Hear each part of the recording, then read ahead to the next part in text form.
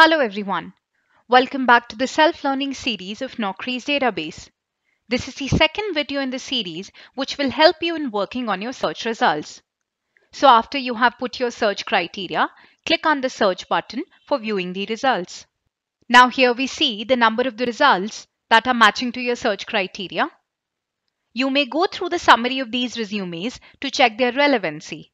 For making any changes in your search criteria, click on Modify Search. Moving on, if your result size is huge, you can further narrow down your results for working on the most relevant candidates. Please note, refining will reduce your result size as the feature enables you to further filter within the pool of resumes.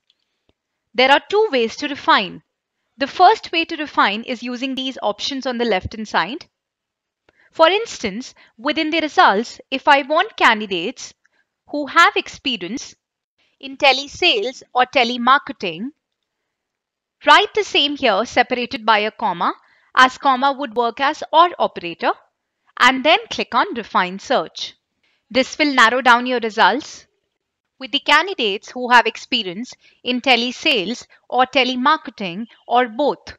Then below here, you can check the segregation of your results into functional area and industry.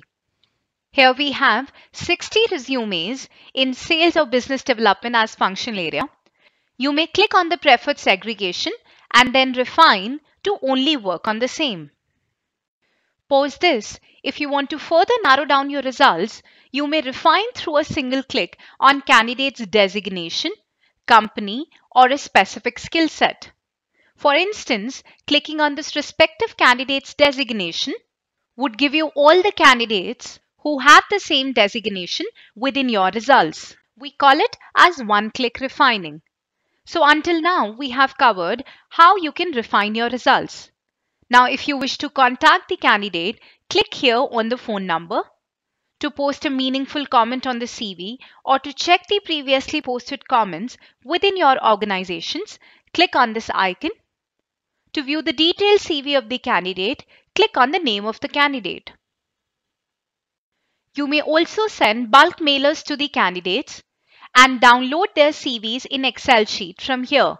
For learning the same, please click on the respective link to the video appearing on your screen. You may also save the search criteria for your future requirements via the option of Save Search. And you can use it later from Resdex Save Searches. And that is all. To learn how to work on a detailed resume, keep watching the series or click on the video link appearing on your screen. Thank you for watching this video. For more tutorial videos, subscribe to our channel and for any further assistance, feel free to call us back on these helpline numbers or email us at support